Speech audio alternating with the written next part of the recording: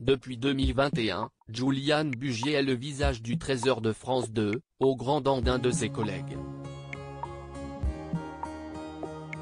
Ce dernier est revenu sur sa déception d'avoir été évincé de ce poste, qu'il méritait largement selon lui.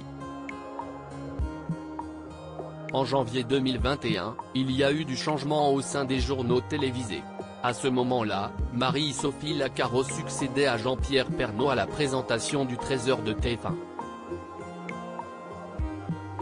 Et pour la remplacer au rendez-vous du midi sur France 2, est le journaliste Juliane Bugier qui avait été choisi.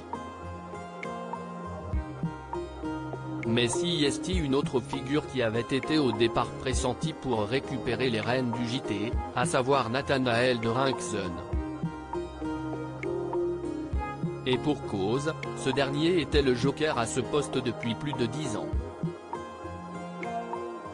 Pensant avoir ses chances à la titularisation, le journaliste qui a été victime d'un AVC et qui travaille depuis trois décennies pour France Télévisions a alors forcément été très déçu. Il est récemment revenu sur cette grosse désillusion lors d'une interview pour Télé Loisirs. Je vais vous dire ce que je pense. J'ai commencé à faire des remplacements à 13h en 2009 ou 2010 d'Élise Lucet. Marie-Sophie Lacaro a été choisie à son départ, ce qui était très bien. Je l'ai ensuite remplacée quand elle est partie, j'ai toujours fait des remplacements.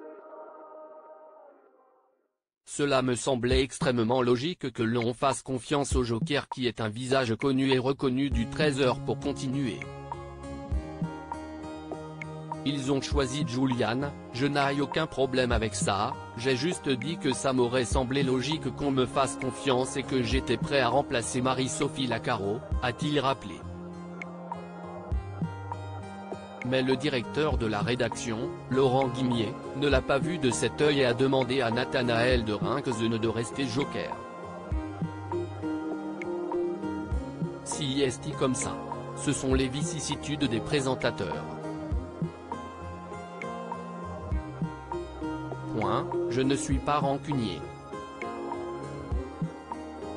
J'ai toujours été très fair-play. Ils ont fait un choix, Julian est très bien, je m'entends bien avec lui. Mais, ça m'a déçu clairement, et ils le savent, a-t-il admis à nos confrères. Aujourd'hui, Nathanaël de Rinkzen a néanmoins tourné la page sur cette histoire et est très heureux d'avoir obtenu d'autres projets que sa position au Trésor de France 2.